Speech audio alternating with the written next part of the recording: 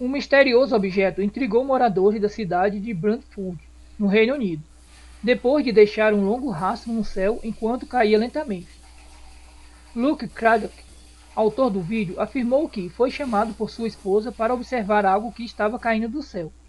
Primeiramente, o casal achou que fosse um avião. Entretanto, notaram que o objeto estava lento demais, deixando um longo rastro de fumaça escura. A queda do objeto levou aproximadamente 10 minutos e o rastro, que era branco, ganhou uma tonalidade escura durante a queda, segundo o tabloide dele está.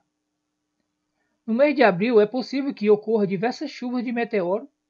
Ciente disso, Craddock afirmou que meteoros passam rapidamente, e este objeto estava caindo lentamente, e por isso acredita-se que se trate de algum objeto voador não identificado.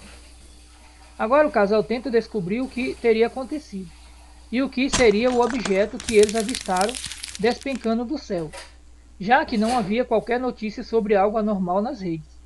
Se você gostou desse vídeo, compartilhe, deixe um joinha e se inscreva no canal e não perca as próximas postagens.